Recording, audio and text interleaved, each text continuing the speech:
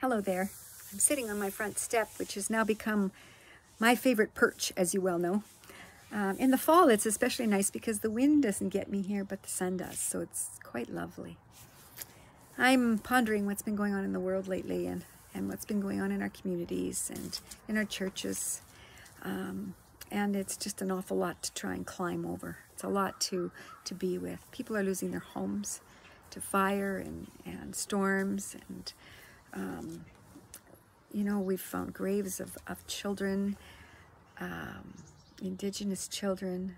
Um, there's a violence happening in, in countries that is just almost unheard of. I don't even think we could even imagine what that must be like for them.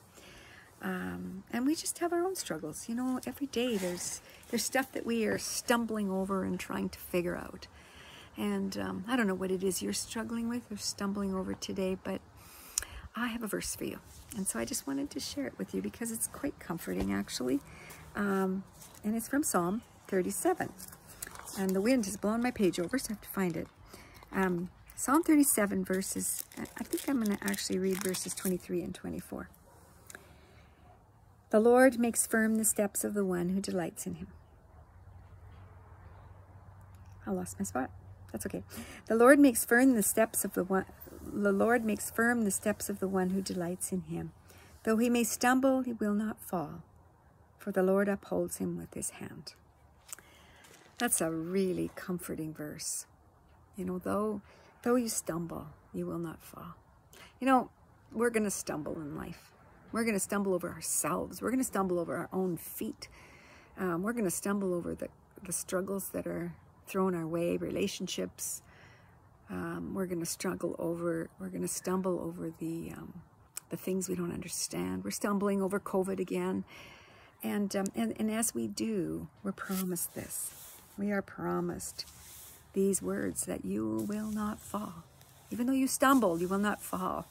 And I picture somebody, you know, going headlong over, over, uh, you know, over some rocks, and um, and there's the Lord holding you up, holding you up taking care of you.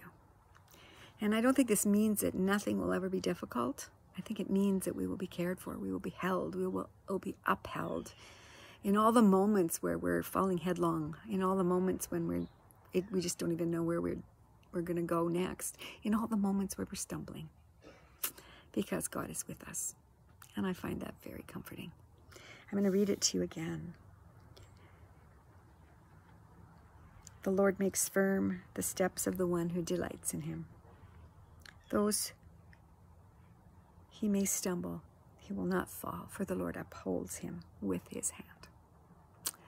So take that verse with you today and take that as comfort as you are held in the arms of God. God bless you now. Bye now.